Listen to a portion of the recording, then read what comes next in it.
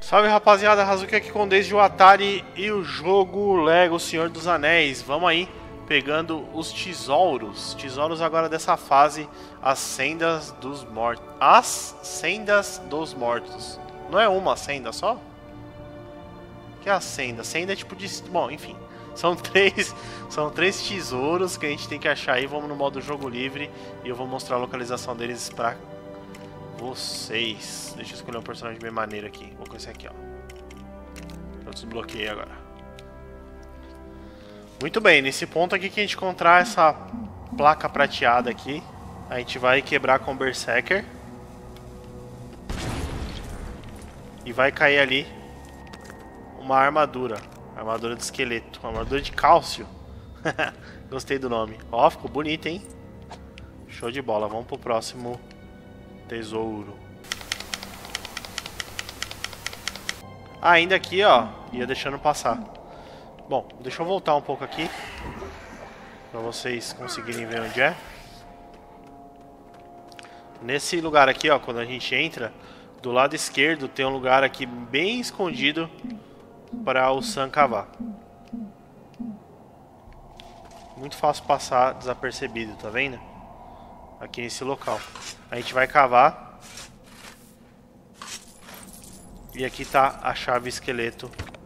O nosso tesouro número 2. Que na verdade, né? Eu ia deixando passar. Porque ele tá aqui junto com o tesouro que eu peguei agora da armadura. Aqui, ó. Aqui tá a armadura foi onde eu peguei a armadura de cálcio. E voltando um pouco, bem aqui, a chave esqueleto, tá? Vamos pro próximo agora. Beleza, passando um pouco mais pra frente, a gente já vai encontrar aqui uma, uma, uma barra laranja, né? Um cabo laranja pra puxar. Você vai pegar qualquer personagem que tenha super força. No caso aqui eu vou usar o Berserker como sempre, mas pode usar o Sauron, o Tom Bombadil um dos Uruk-hai que estão disponíveis aí. A gente vai encontrar o Golden Axe. Que maneiro, velho. Esse aqui é show de bola, hein? Tá aí, terceiro tesouro. Olha só que legal. Golden Axe que é o nome... Olha que da hora, velho. Golden Axe que é o nome de um videogame antigo, né? Se você não lembra, o seu pai com certeza lembra. Pergunta pra ele. Então tá aí. Esse é. Esses são, na verdade, os três tesouros da fase. Se for sair, veio aqui só pra fazer isso como eu. Dá um salvar e sair. Pra não perder o seu progresso, valeu? Com isso a gente conseguiu aí. Uh, alguns tesouros.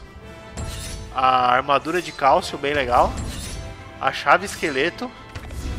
E o machado de ouro, que é fantástico na minha opinião uma das paradas mais legais aí. Com isso você ganha também um bloco de mitril aí para te ajudar lá no ferreiro.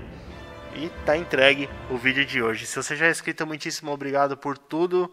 Se você ainda não é, conheça lá o Desde o Atari, quase 2 mil vídeos de conteúdo Lego para divertir você. Valeu, rapaziada. Até mais.